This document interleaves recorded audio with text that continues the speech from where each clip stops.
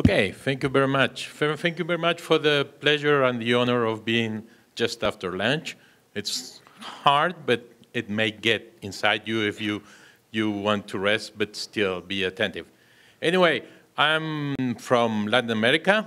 I'm based in Bogota. I'm myself from Cordoba, Argentina, and I am from Geocensus. Geocensus is a foundation that has been using OpenStreetMap since 2010.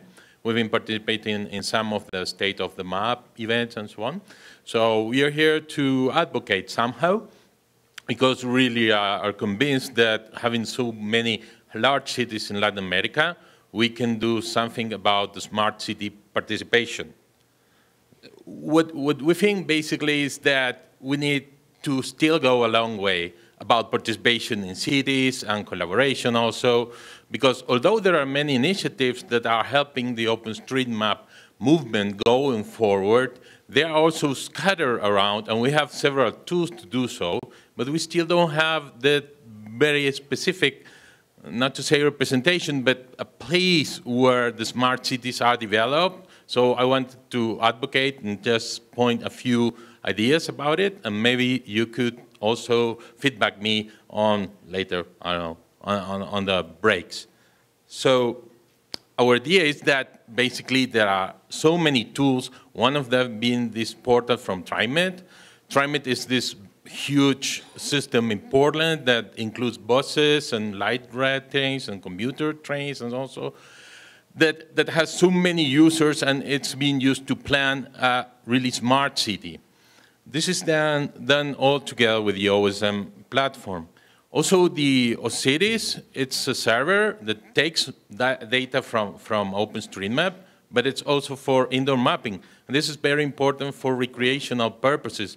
Most of the malls and also campuses and, you know, smaller scale, uh, bigger scale of spatial object can be done, can be mapped uh, indoor mapping. And this is very important for smart cities because people may use them a lot. And also, there's a project from StatCan. I don't know if you've been at the HOT Summit. How many of you have been at the HOT Summit recently? This was in Canada, in, in Ottawa.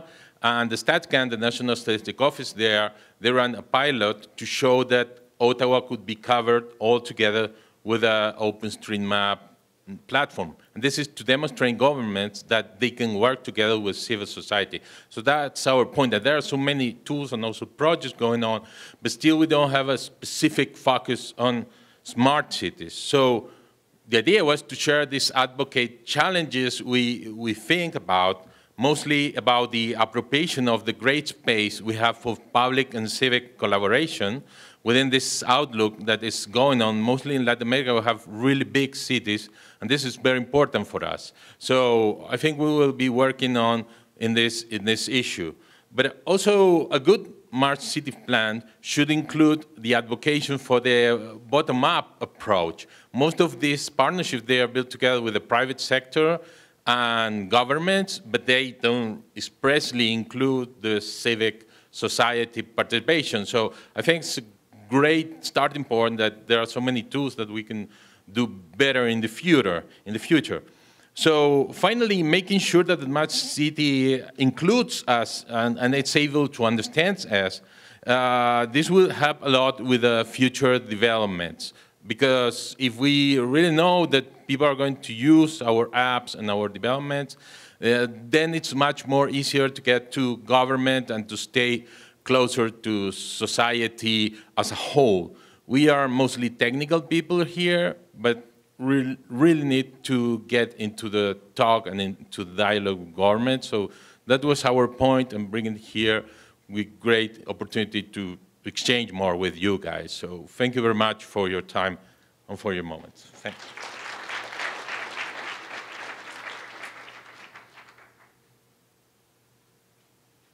You want to announce yourself?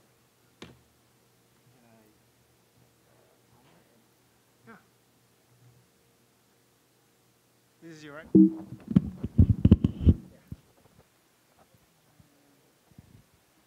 Hello, everyone. Hi. Oh, full screen. There we go. Okay, thank you. All right, my name is Viet Nguyen. I am from Portland, Oregon, and it's not Halloween, but I'm dressing up as a rock climber because I, I am one. Um, very excited to be here.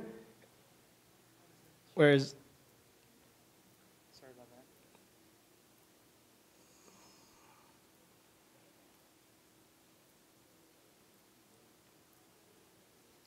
Yeah, as you can see, I'm dressing up to, go on a rock climb before heading out to the mountains, besides the obvious gear, ropes, carabiners. Guess what's the other thing that people usually bring? Well, these days, my friends and myself, we all carry a smartphone. So last year, I started thinking about maybe I can find some public data set and build maps for myself and my friends, and we can share them among ourselves. Uh, the problem is there aren't any public data available for, for me to use. So I was happy to encounter OpenStreetMap, and I did a quick query, and surprise, there was a lot of data. Do you want to guess how many object marked as uh, sport equals climbing? All right. Um, actually, C is the correct answer. There's over 11,000 objects uh, tagged with sport equals climbing. Well, as you can see, there's a lot of them in Europe, but like I can see the flat iron out of the window, but like it's blank in the, on the map. So I started a project, and it's strictly my uh, labor of love, uh, self-funded. It's called the OpenBeta Initiative. Basically, it's uh, an app for rock climbers to share climbing data, to edit and contribute. And the data are going to be in OpenStreetMap. Um, yeah, I, I need to talk about? So yeah, there's a lot of work needs to be done, and uh, have comments, ideas, pull requests on GitHub, uh, would be appreciated.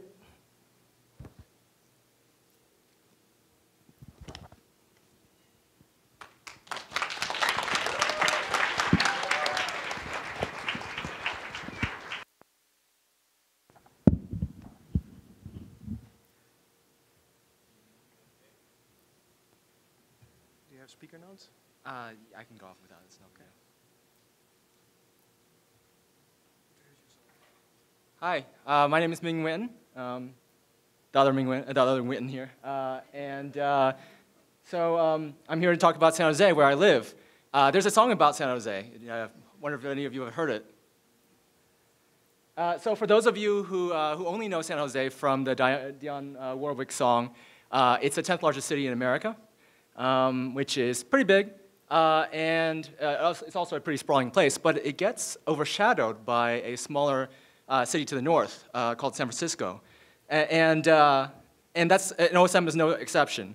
Uh, so San Jose also kind of is in the shadow of San Francisco in terms of OSM participation, both by local um, kind of like craft mappers and also by armchair mappers and, and, other, and others. And so there, there, are, there are people in San Jose mapping in OpenStreetMap. I'm one of them. Uh, but for a long time, we didn't really know who each other were. Uh, we didn't coordinate, we didn't see each other face to face. Um, And there weren't uh, any meetups actually uh, for an eight year span from 2009 to 2017. Uh, and uh, the one in, 29, uh, in 2009 was organized by CloudMade, if any of you remember CloudMade. Um, so the lack of local coordination has meant that OSM's quality, uh, its coverage in, in the South Bay is, uh, is uneven. Um, so, so the most basic things, you think like TIGER cleanup, cleaning up the TIGER import, that stuff actually happened quite early. Uh, and that's, that's in a pretty good shape. Um, and really, as far as roads go, uh, San Jose and South Bay are in pretty good shape because um, companies like my employer Mapbox, for example, are, are invested in making sure that it's uh, suitable for turn-by-turn navigation and routing, things like that. Um, so the roads are in good shape, and so is uh, cycling infrastructure. because of the tireless efforts of, um, of people, of cycling enthusiasts uh, who live in uh, neighboring areas. Um, but on the flip side, uh, you know, there, there, are, there are definitely things that are quite lacking in the area. So public transportation coverage in the South Bay, in San Jose, uh, is almost non-existent. And that, that's a stark contrast to neighboring counties, uh, like San Francisco County. Um, there's also uh, a, a, you know, so there are buildings being added, but it's kind of at a plodding pace. Um, so it's not the kind of like comprehensive building coverage that you might expect from a large American city at this point. Um, and in terms of uh, points of interest, there, you know, if you go to um, some of the some of the touristy areas, you might find good coverage of points of interest, but there's still plenty of uh, POI deserts, um, especially in ethnic neighborhoods and, and, so forth. I'm going to expand on that last point about points of interest, actually, um, which is uh, so. Uh, I was curious about how, how well we had points of interest points of interest covered, so uh, I picked up a phone book uh, and I, I, took a look at um, the business white pages and the yellow, pa uh, yellow pages uh, for the 408 area code that contains San Jose. Um, and uh, I'll have a, a proper write-up about this uh, posted online shortly, but um, so I just want to present some of the, the takeaways from that. Um, and the biggest one is that uh, OSM, compared to this admittedly imperfect um, other source, has 23% as many named POIs. So when you think about it, I mean, that's not a lot, but when you think about who has been doing that, that's with a community that has been fragmented and not really coordinating. Um, in that 23%, uh, we've mapped 94% as many restaurants and 78% of the, of the places of worship. Uh, and when you dive down into the different categories that the Yellow Pages has, it, you get some interesting findings. Uh, so OSM does really well uh, when it comes to retail, uh, when it comes to entertainment, and motorist services, and uh, apparently we do pretty well in, in, terms of cannabis as well. Um, yeah, the phone book doesn't have any. Uh, um, on the other hand, uh, we don't do quite as well when it comes to professional services, which you don't also kind of expect to, to see in a data set like OSM's. Uh, so we like cannabis more than taxes, apparently. Um, but uh, so um, looking ahead to the future, um, uh, we benefit, we're benefiting now, uh, more recently, from a partnership with Code for San Jose, the local uh, Code for America uh, brigade. Uh, they helped us, um, they basically sought out all the local mappers, got us all together, recruited more people, and we had our first mapathon since 2009, since, since CloudMade, and we're keeping up the mom momentum with uh, monthly meetups. so at, at, these meetups, we're, we're, doing, we're adding POIs from Mapillary, we are importing sidewalks, and if you have been following some mailing list discussions, we have definitely been adding sidewalks, but we're also committed to adding crosswalks to fill in the gaps. So um, we're in this for the long haul, uh, because we're not going back to how things were before, which was people sitting in their armchairs doing, doing mapping, but nothing else. Um, and if you're interested in uh, the South Bay in San Jose, uh, we do have a mailing list, a wiki page, and we're on Slack. Thank you.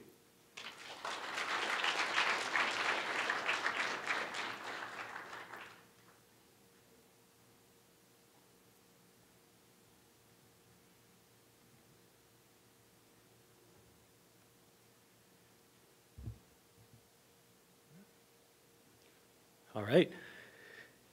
Hi, everyone. I'm Bryan. I maintain the iD editor.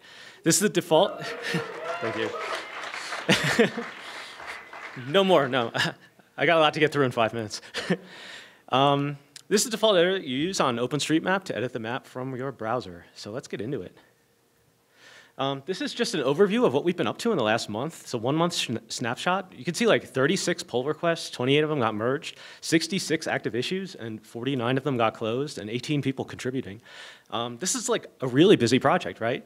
Um, and while we're usually busy, we kind of have something special going on right now. It is Hacktoberfest. So this is a promotion that DigitalOcean and GitHub are running to get more people interested in open source. So um, maintainers can tag issues that are good for first-time contributors, and anyone who makes four pull requests in October gets some free swag. So win-win, right?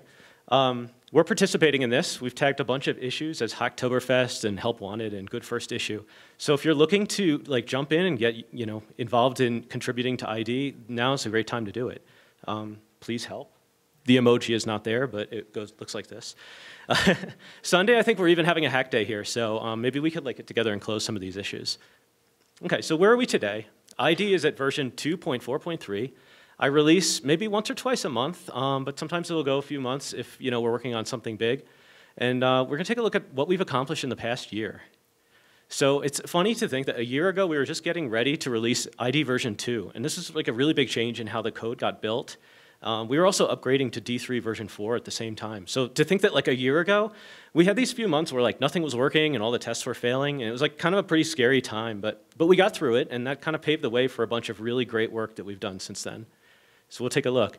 Um, iD2 launched with uh, right to left support. So this is pretty cool. Like if you speak Arabic or Hebrew, you know, it actually flips the entire interface right to left so that those users can um, use iD in a more natural way. Then in February, we added some new operations. These are for reflecting shapes. You can see here I'm mapping some baseball fields, but it's also useful for mapping like certain types of like repetitive looking buildings.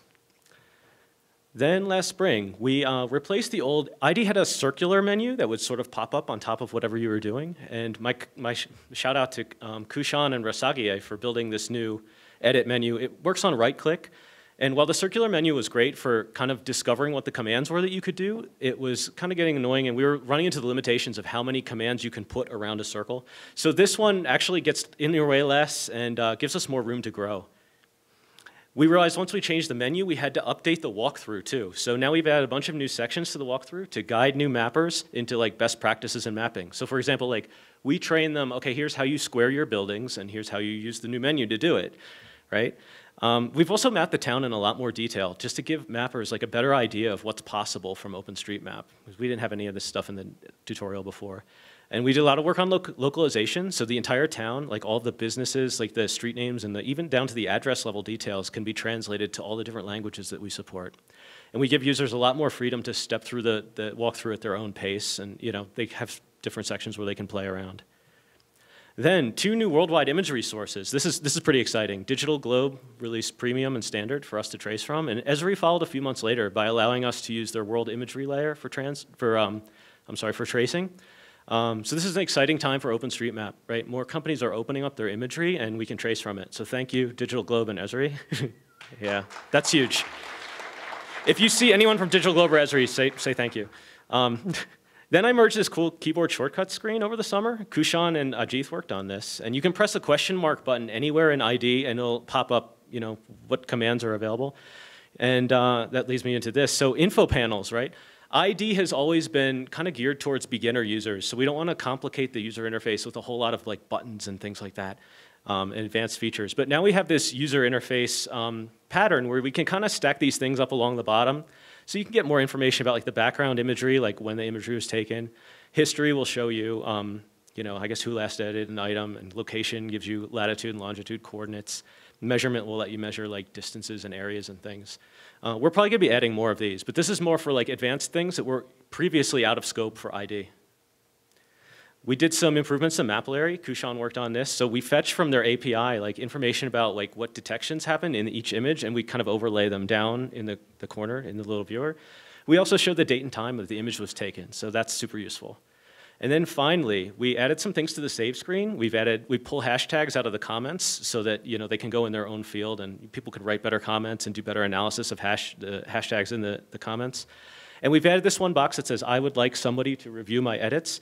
This is more for like new users who maybe like want somebody to take an extra look at what they're doing and they want some feedback. So we're gonna be integrating that with more tools. Um, hopefully we see some people like giving feedback to new users that way. Thank you, that's like all the time I have. It's a lot to get through, but please check us out on GitHub, star us, follow us, and follow me on Twitter for more iD news. And looking forward to meeting you all at the conference. Thanks.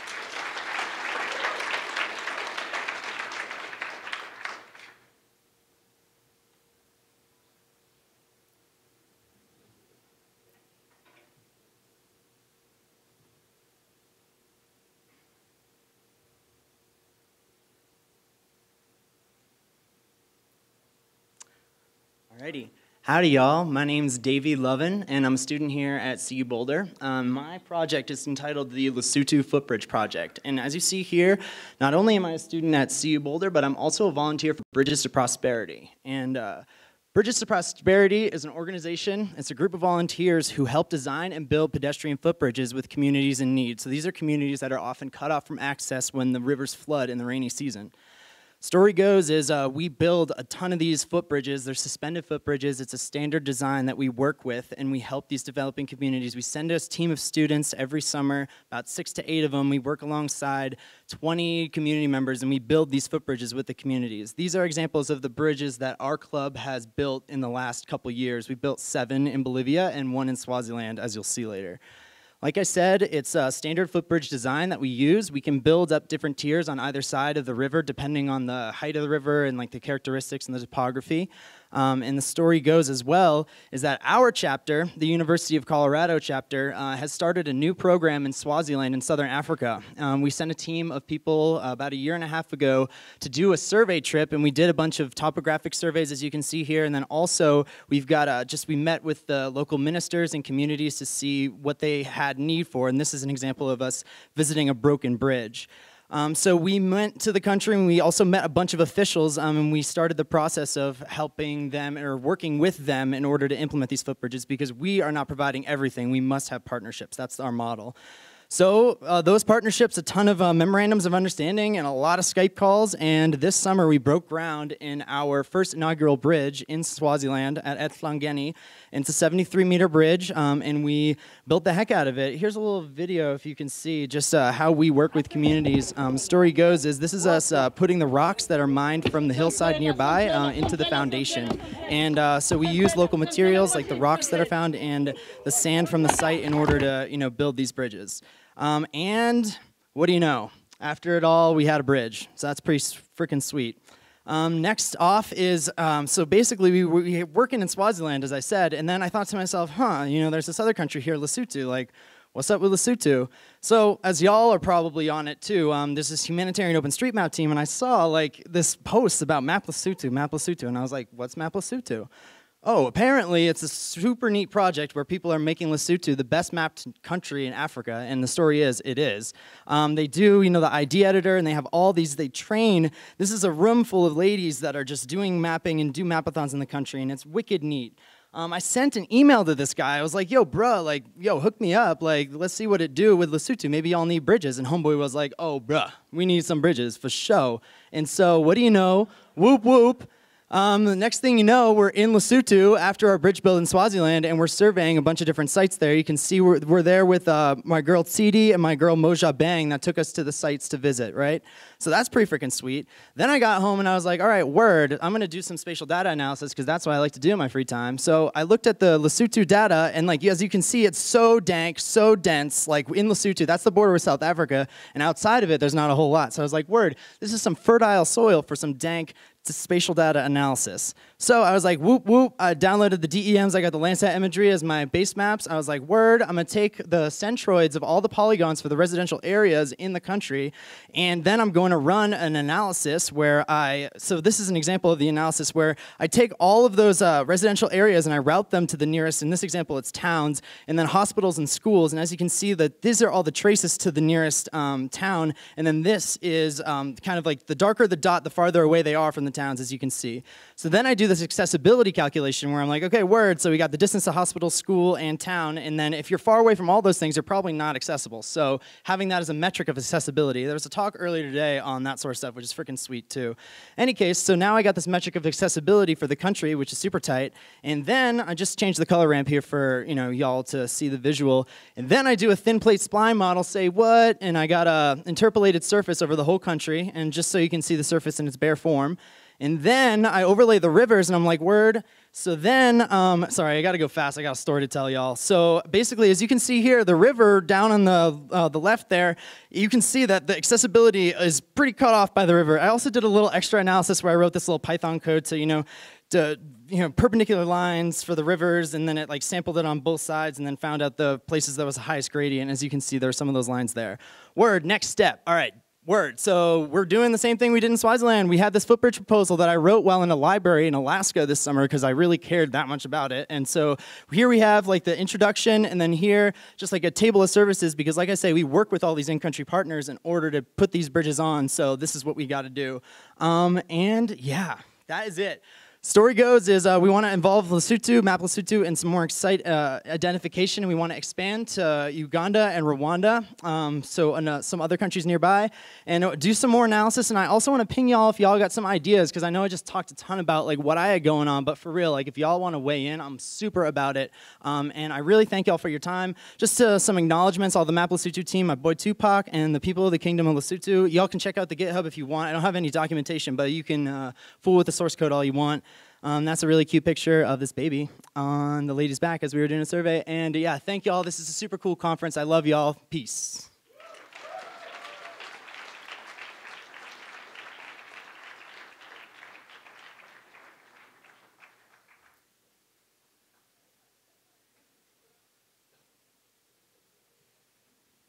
All right. Let's get you lined up. Oops, I think I did the last slide. That's like three. Here's one. Oh, it started. Can we? Uh-oh. I think we just need to reopen it. Yeah, You tell me when. I'm ready. Yep. Okay.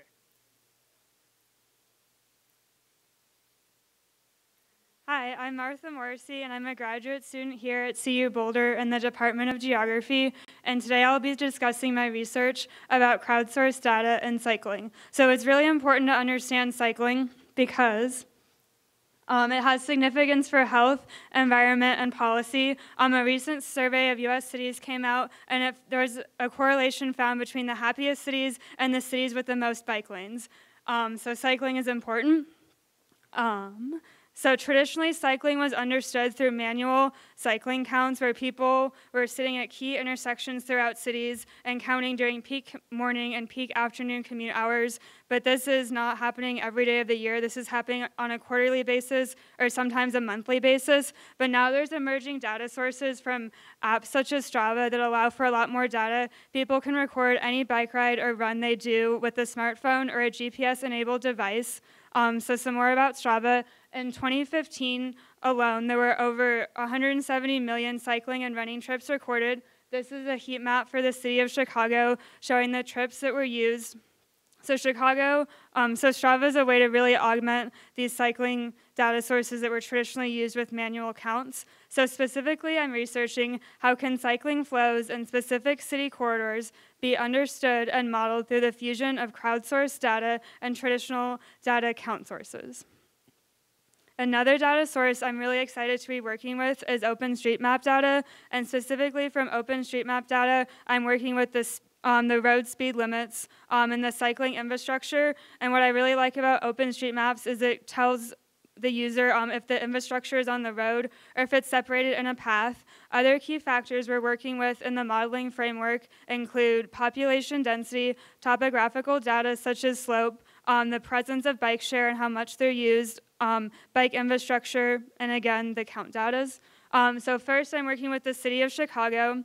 Um, Chicago biking is already pretty well established here. There's over 200 miles of bike paths, and by 2020, they're set to expand that to 645 miles. So this is a really interesting city to look at. So I first started by replicating a study from 2016, working with a Poisson generalized linear model to understand the relationship between crowdsourced count data and manual count data. Um, so this model, our our results were consistent with the other studies' results, which was good. Um, we found a correlation of about 0.8 between the, the crowdsourced cycling counts and the manual cycling count data. Also, month cycleway type um, were significant predictors. But this model isn't the best way to approach this problem. It's a good start, um, but it's an oversimplification because it treats the streets that people are cycling on as separate, but they're interconnected, and that makes sense when you look at this map. Um, we see the colored pink lines. The darker the pink means the more cyclists that have been on that road, and there's a specific pattern here, and the GLM currently isn't capturing that pattern, so it's really important to think spatially. Also, when you're thinking about biking, um, it's important to think about clustering. So we see the clustering of counts, um, and this is just one neighborhood in Chicago, but we found statistically significant clustering in certain areas. Um, and we'll find that when we expand this to the whole city. In addition to thinking spatially, you also need to think temporally. Um, so cycling ebbs and flows throughout the day. Um, we really care about the peak morning and peak afternoon hours and also how to adjust seasonally. Most people do not cycle in the winter like that brave man. Um, so the Strava data allows us to combine space and time um, at a really fine resolution, so the model should address this. We can think about space and time together using um, a weights matrix that accounts for both of those, um, adding the third dimension of time. So how to use that? Our next steps, we're going to be working with more advanced models, such as conditional autoregressive models, where that weight matrix can go in as a term. We also want to work with recurrent neural networks because they've been successful um, within the field of traffic predictions. Um, so once we get more models working, we want to expand it to smaller cities, such as Farmingdale, New York, Harrisburg, Pennsylvania, um, St. Petersburg, Florida, and Bentonville, Arkansas, to really increase cycling in a variety of places. Um, I'd like to close out really emphasizing how powerful crowdsourced data is um, and how it can it has a place shaping future transportation policy decisions such as bike infrastructure. Um, I'd like to acknowledge and thank Strava Metro for data access, People for Bikes for also helping me get data access, um, the CU Earth Lab, and my advisor, Dr. Carson Farmer.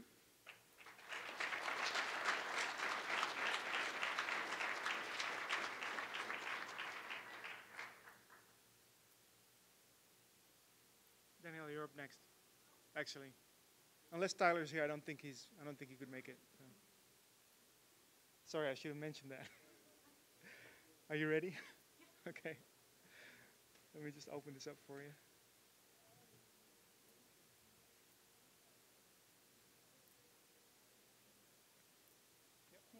Okay, perfect. All right, hi, my name is Danielle Golon, and I'm the Science Communication Specialist for NASA's LP DAAC, where the Land Processes Distributed Active Archive Center, long acronym. Um, we're located in Sioux Falls, South Dakota, at the USGS Earth Resources Observation and Science Center. So maybe some of you have been there, saw a couple of nods. And we specifically distribute data about the Earth's land surface. Now, if you're in this room, you're probably interested in geography or maybe civil engineering or understanding more about the place, whatever that means to you, where you're from or maybe where you're currently at. There's something that draws you to mapping. So, in the world of the LP LPDAC, we provide data to make maps that tell stories about the sky from the sky above. These stories tell us about how the physical land has changed, is changing, or we can help us predict how it might change in the future.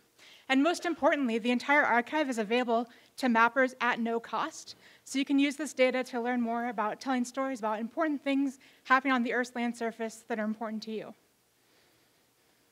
And these data are provided by a plethora of sources. So we have.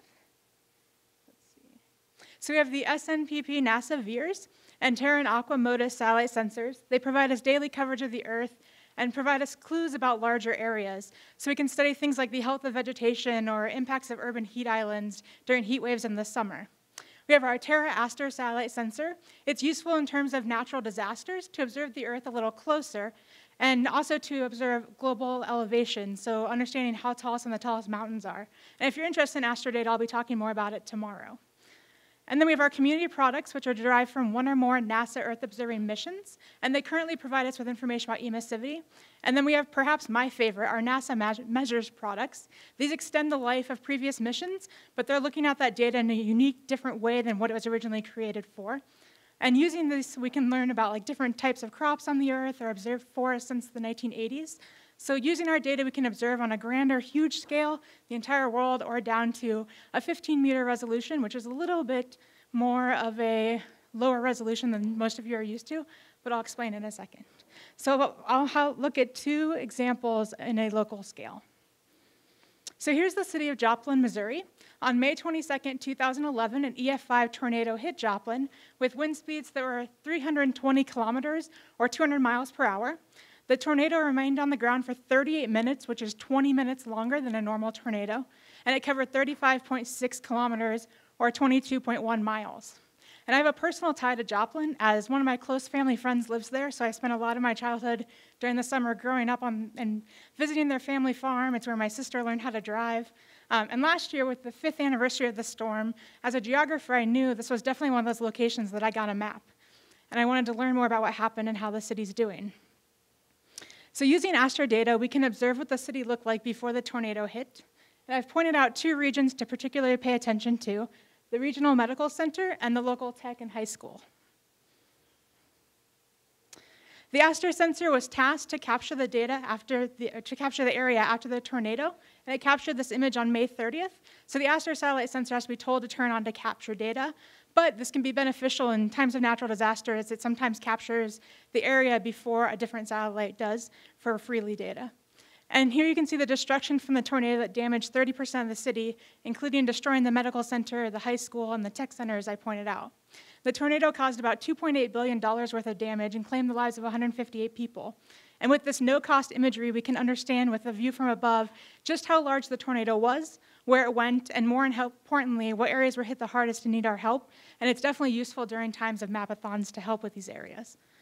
So the ASTER satellite sensor captured a cloud-free view of the area a few months later, where the scar is still visible.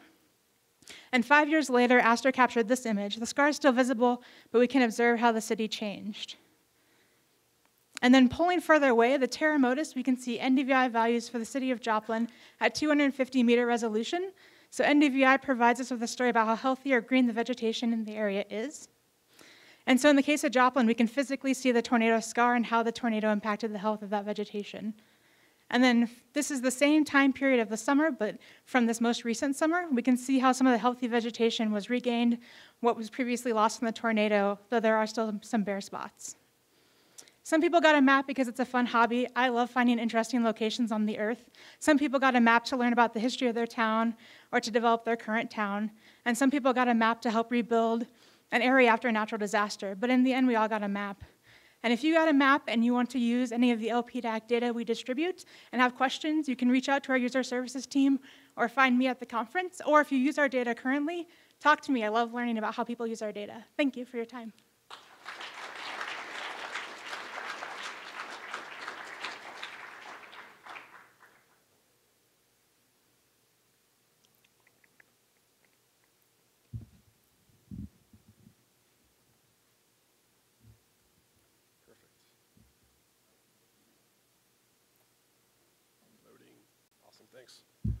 Hey everybody, I'm Jeff Farrar with DigitalGlobe, here to talk to you about OSM editing using UAV imagery.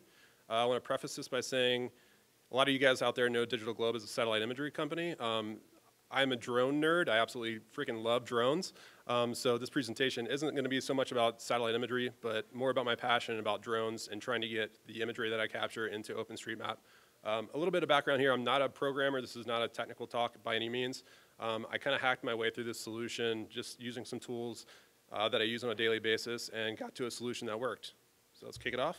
Uh, at a high level problem, um, I moved into a brand new development neighborhood about 2015. Around the same time, I discovered OpenStreetMap um, through a mapathon with Kevin Bullock at DigitalGlobe.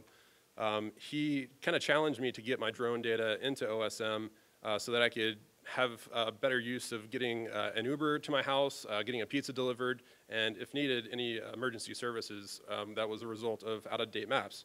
Um, so he challenged me to get the drone up in the air and update OpenStreetMap. This is how the map that I discovered of my neighborhood looked in 2015 uh, using 2012 imagery. So the star is where my house was. There's a huge gap of uh, field there where there's no development, but I was clearly living in that spot, so there was a huge challenge. Um, so I, I, needed to take action right away to get some of those services that I, I took for granted before. Uh, here's a little bit of background of my drone. Uh, this is things out of date by now. I'm in negotiations with my wife to get a new one for this Christmas. Um, crossing my fingers on that. Um, but this thing can be had for just a couple hundred bucks now, um, and the capabilities actually in using some of this, uh, this software uh, can get you guys pretty useful data. Um, so to overcome kind of the limited transmission range of this out-of-date drone, um, it had a pretty cool follow me feature. Um, I took a little bike ride around my neighborhood with having the drone follow me overhead, probably freaked out a bunch of my neighbors. Um, but I took this data, uh, ran it through Pix4D to generate an orthomosaic and a DSM um, and uh, 3D mesh product, which is really cool. Pix4D is amazing. I recommend you guys try it. Um, but from there, I took the mosaic, uh, or first of all, I ran it through Pix4D, processed the video into stills, um, and generated this orthomosaic and these other products as well. From there, I took, uh, since the video didn't have any uh, geo information, I took some, I kind of cheated, took some DigitalGlobe imagery, geocoded the drone data uh, with the orthomosaic that I generated, uh, and turned it into a georeference product that I could then uh, import into a tile set on Mapbox, uh, load it into a style, and then use the uh, leaflet API link to bring it into OpenStreetMap. Uh, and then I was finally using my drone imagery to create vectors and add features in my neighborhood. Finally got it on the map. Uh, so here's kind of the level of detail I was able to distinguish and what I'm mapping currently in my neighborhood. Um, features like manhole covers, light posts, solar panels, handicap spaces, fire hydrants, really down to fine detail that would be otherwise super challenging to do in satellite imagery. And finally, I'm on the map and I'm getting pizza delivered to my house and my Uber's having no problem picking me up, so all the problems are solved. Uh, thanks to all of these uh, providers uh, to help me get there. Um, and yeah, that's it. Thanks.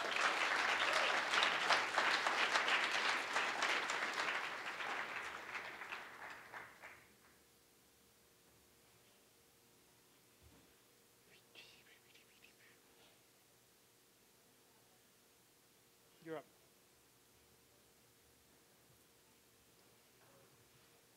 Open these. Should I put it?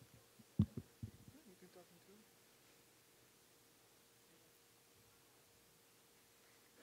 Okay, hi everyone. My name is Beata and I'm from Telenav Europe, Romania. Today I will present shortly the OpenStreetCam plugin.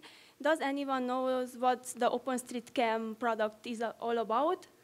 Okay, so the OpenStreetCam plugin helps uh, the community to improve OpenStreetMap by displaying up-to-date Street View images. The images are collected to the OpenStreetCam platform. The OpenStreetCam platform is a free and open platform that improves OSM by uh, uh, Street View images captured by you.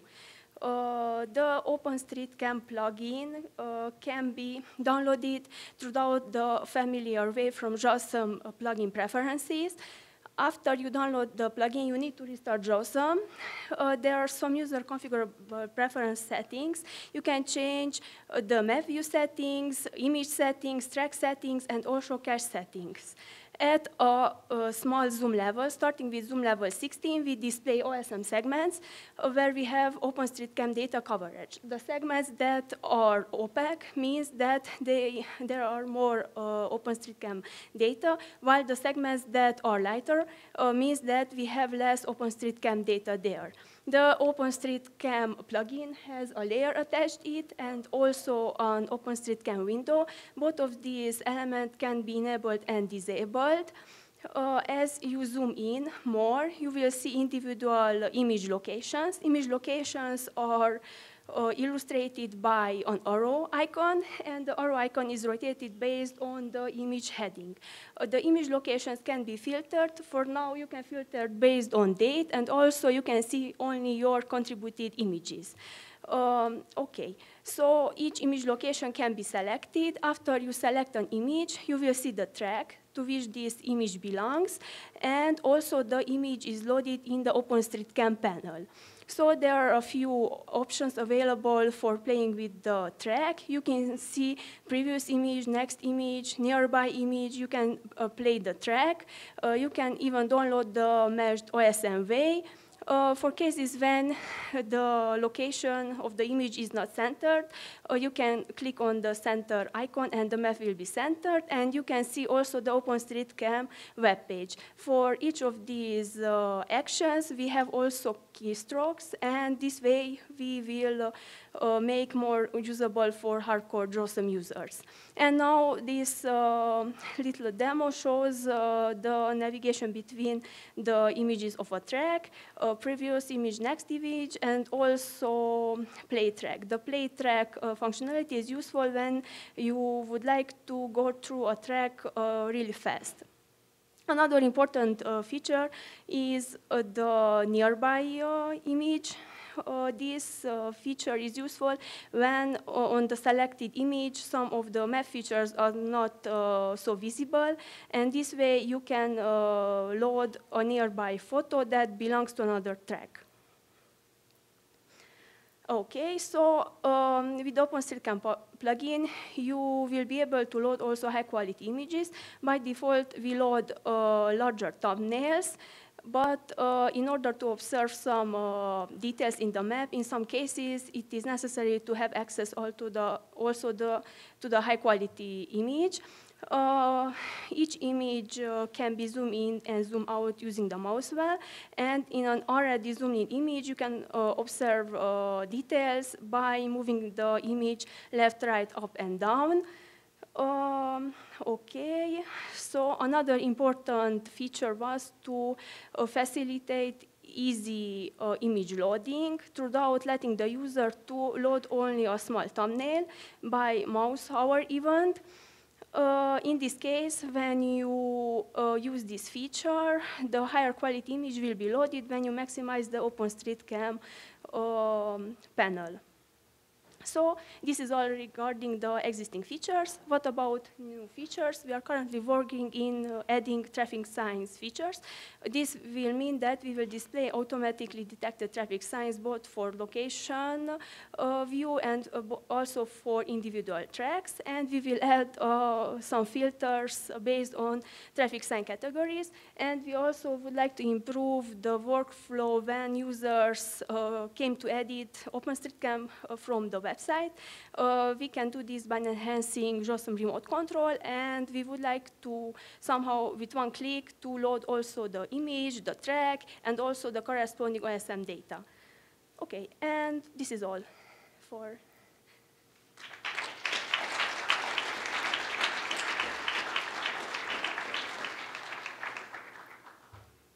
Okay, we're down to our last one already. Clifford. You're getting your exercise today, aren't you? I wish. What? I guess I'll allow this. I, am here talking about, well, he's doing this. I'm here talking about search engine optimization. It's a really boring subject, but pay attention because this is going to be fun. Um, I got interested in search engine optimization because I look at every new mapper um, in the state of Washington, and I see a lot of these companies trying to put stuff into OpenStreetMap. One of the things I've noticed is they're putting a lot of garbage in there. Uh-oh. Garbage like that. you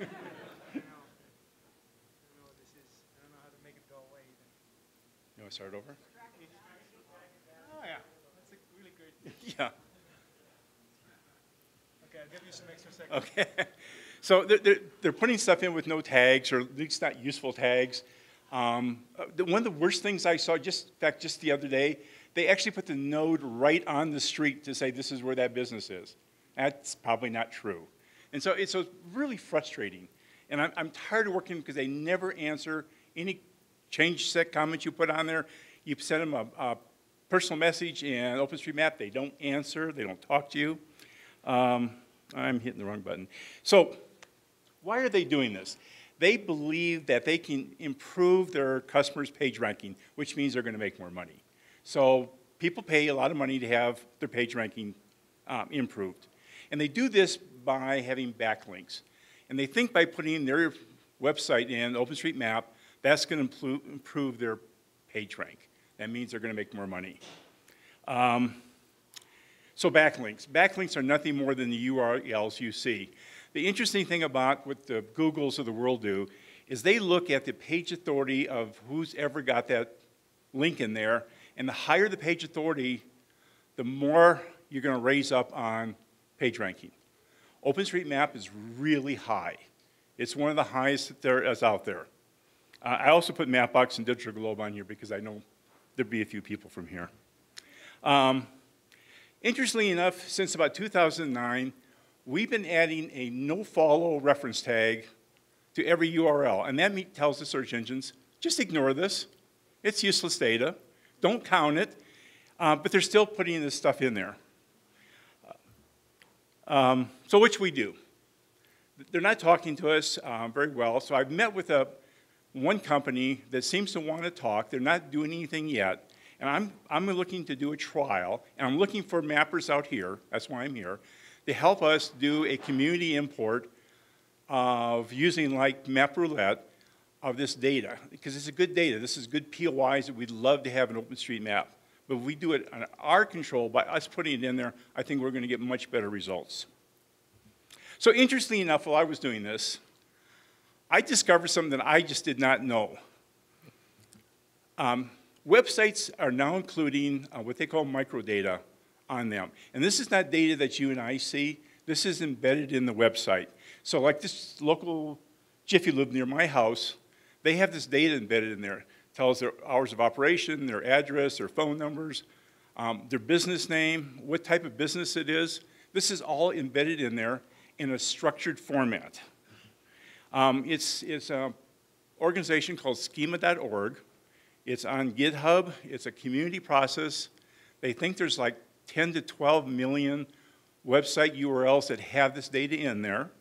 Um, it's, it's um, open data, it's, excuse me, it's, it's, a Creative Commons type of uh, information, so we can all use it.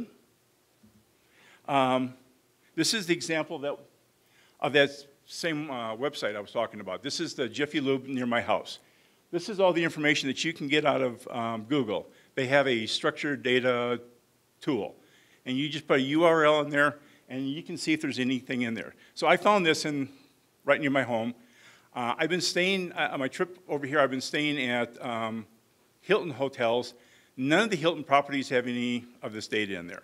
So it's, it's there, and, but it's still spreading. It's relatively new. Uh, but what's interesting about this thing, if we can put this into our editors, so the editor goes out and queries these websites, brings back the information, we could eliminate typos, we could give consistent business names, um, we could get more data in there because if there's anything I hate, is typing a lot of data about a, about a business. You know, it gets boring. Um, so this would make it really simple to collect a lot of good information relatively easily. So that's my proposal. Um, we're going to work with some SEOs, and I hope to see a lot of this stuff in there, and hopefully the Bryans of the world and the, the JOSMs of the world will uh, support this. Thank you very much.